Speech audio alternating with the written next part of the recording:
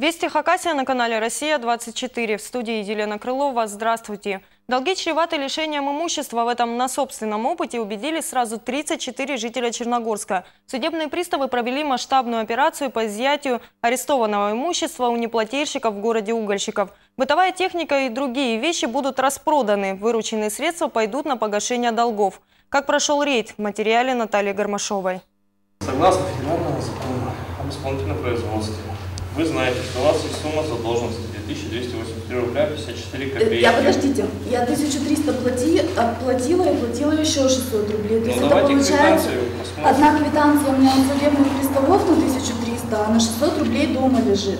Юлия – мать-одиночка, безработная, живет в общежитии. Ежемесячный доход не больше 500 рублей в месяц. Выплачивать долги практически нереально. Приставы пришли, чтобы забрать мобильный телефон и фотоаппарат. Вырученные от продажи средства должны пойти в счет задолженности, но цифровой техники в доме не оказалось. Хозяйка пояснила – заложила в ломбард. Пока судебные приставы вынуждены попрощаться с женщиной, но ненадолго. Не раз вернуться предстоит и в другие комнаты общежития, чтобы застать хозяев должников дома. Тамара Алексеевна тоже жительница общежития, задолжала за коммуналку, говорит не по собственной воле. Много. Много. Я когда к приставам ходила, я сказала, как у меня деньги есть, я плачу. А пойду на пенсию, буду, будут с меня высчитывать. Каждую неделю плачу я. ну как, по 300, по 500 рублей я плачу. Из вещей, которые можно забрать и отправить на реализацию, оказался только электрочайник. Как без чайника? Есть еще что-нибудь? Нету, нету. В кастрюлю буду кипятить. Оценили технику в 200 рублей. Весь долг, конечно, эта сумма не погасит, но хоть что-то. В этой квартире тоже, по информации сотрудников управления, числится должник. Парень не выплатил 5 штрафов ГИБДД. Сумма 600 рублей. Но, как выясняется на месте, молодой человек живет в другом регионе страны. На поиски арестованного имущества уйдет время. А вот жильцам этой квартиры повезло меньше. Со стиральной машиной и микроволновой печью пришлось расстаться в считанные минуты. Хозяева задолжали более 200 тысяч. Телевизоры, компьютеры, телефоны, мебель – основное, что забирают приставы у неплательщиков. Но есть и не совсем обычные вещи. Были такие случаи наложения арестов на домашних животных. Это свиньи, коровы. Устанавливались, то есть истребовались документы, налагался арест. Ну, должники, вот, когда налагались на домашние животные арест, должники оплачивали. Вот недавно мы вводим практику. Это арест заборов, ворот. Сам гараж мы как бы не можем наложить арест, потому что гараж находится на территории частного дома. Эти ворота тоже в арестантском списке. Сотрудники организации, которые реализуют имущество, не сомневаются, покупатели найдутся быстро, а значит часть 50-тысячного долга, который числится на хозяевах дома, будет оплачена. За один вечер приставы Черногорска изъяли имущество у 34 должников. Общая сумма 40 тысяч рублей. По словам сотрудников, такие визиты носят больше профилактический характер. Многие должники буквально на следующий день спешат гасить суммы и даже достаточно крупные. Сегодня стали известны результаты ЕГЭ. Министерство образования и науки Хакасии огласило их на специальной пресс-конференции для региональных СМИ. В этом году с первого раза не прошли тестирования по основным дисциплинам относительно немного выпускников. Русский язык и математику провалили от 1 до полутора процентов школьников. Для сравнения, в прошлом году процент по обеим дисциплинам был выше 6.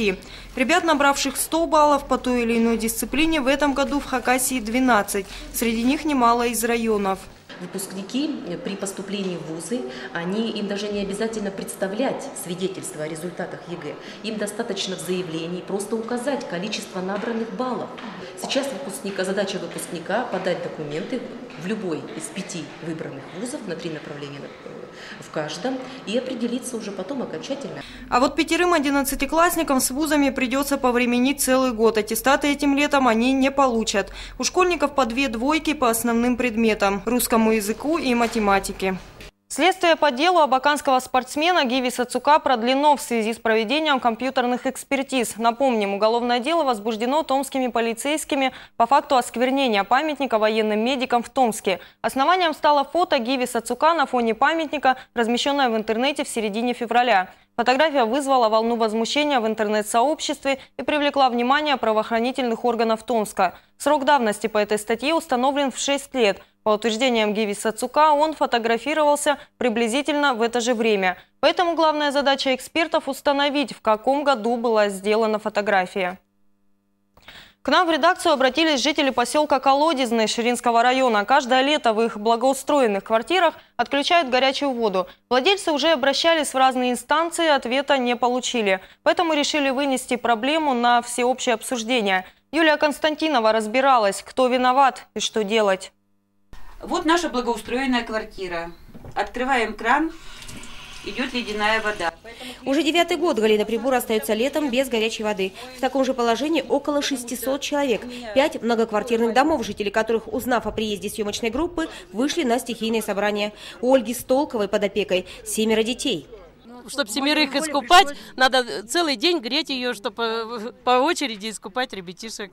У кого есть возможность, те поставили себе водонагревательные приборы. Не учитывается то, что дома старые. Проводка может полететь. Котельную затопит, допустим, в сентябре, водичку нам дадут горячую. Отключат вот, и воды нет горячей. И полгода мы без горячей воды.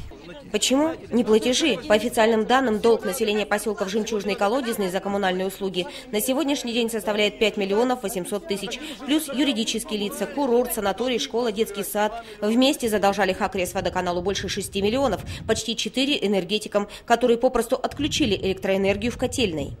Мы пошли навстречу, создали комиссию по неплатежам населения. 20 повесток отправили, значит, пришел один человек.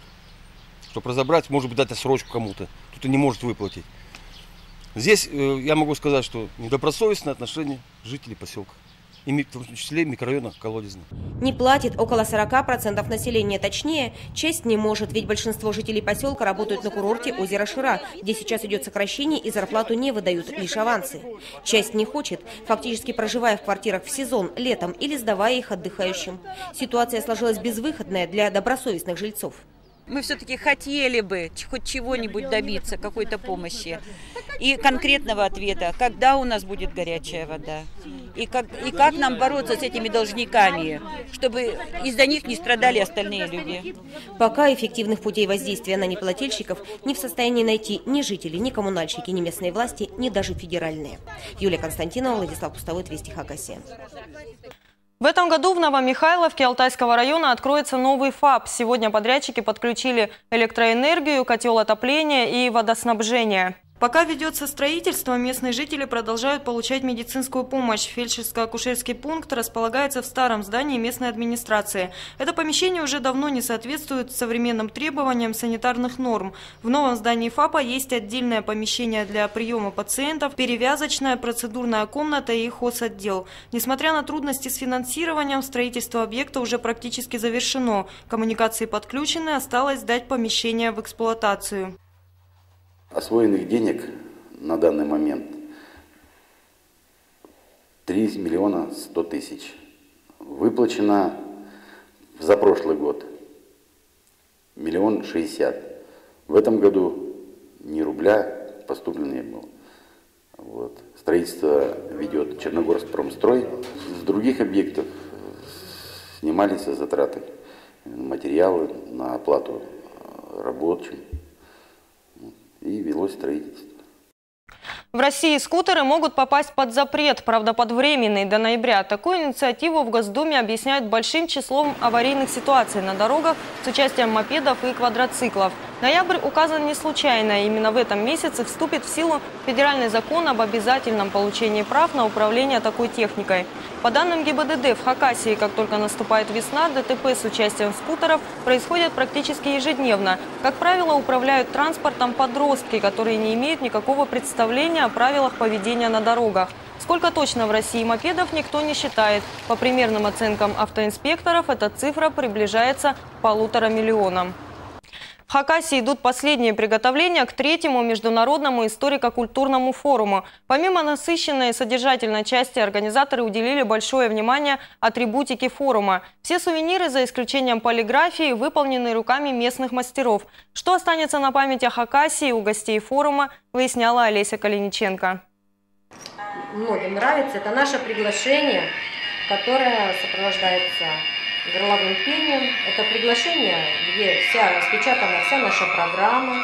Она персональная, за подписью э, главы республики. От такого приглашения невозможно отказаться. Конечно, гости третьего международного форума «Историко-культурное наследие» уже давно подтвердили свое участие, но получив такой музыкальный пригласительный, звонят и говорят отдельное спасибо.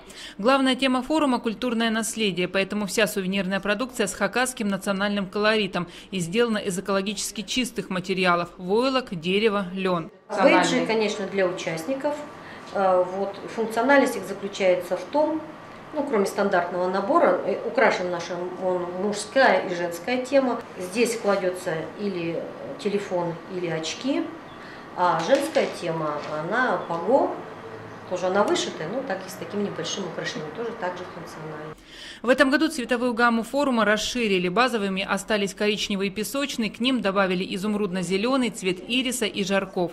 Среди сувенирной продукции нет случайных вещей. В подарочном наборе продумана каждая деталь. Для работы на форуме деревянные ручки и флешки, удобные вместительные сумки. Для редких минут отдыха калейдоскоп цветы хакасии, кружки, травяной чай и конфеты, которые вряд ли будут хранить как память. В каждой коробочке одна конфетка, наша черемуховая, которую все очень любят, и москвичи любят, тоже всегда нас просят и заказывают. А, чем она интересна? А, что на каждой конфетке а, хакасское благопожелание. Третий международный форум начнет свою работу на следующей неделе с 26 по 30 июня. В его рамках состоится масса культурных и социально значимых мероприятий. Для всех жителей Хакасии во время проведения форума в Республиканском краеведческом музее будет открыта выставка шедевров мирового искусства. В драмтеатре дадут концерт солисты Мариинского театра, а на стадионе Саяны выступит скрипачка Ванесса Мэй. И в завершении выпуска объявления. Завтра в Абакане будут перекрыты центральные улицы. Это связано с празднованием выпускных в школах города. Пешеходными зонами 21 июня с 17.30 до 20.30 станут улица Щетинкина в границах улиц Пушкина-Чертыгашева и проспект Ленина на отрезке от улицы Щетинкина до улицы Вяткина. На границах пешеходных зон инспекторы установят временные дорожные знаки. Эфир телеканала «Россия-24» продолжит прогноз погоды и рубрика «Интервью». В нашей студии мы говорили о правах потребителя. На этом наш выпуск завершен. Берегите себя.